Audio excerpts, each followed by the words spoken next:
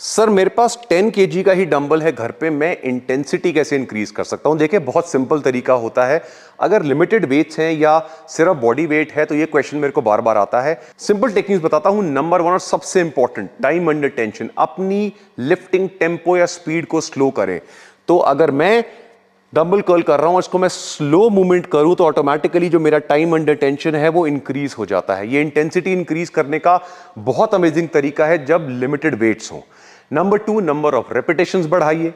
Number three rest between sets जो हैं, उन्हें कम करिए। और नंबर फोर सुपर सेट्स वगैरह स्पेशली अगर हम बॉडी वेट के साथ कंबाइन करें, उनको ट्राई करिए। तो ओवरऑल इंटेंसिटी आपकी अपने आप बढ़ जाएगी।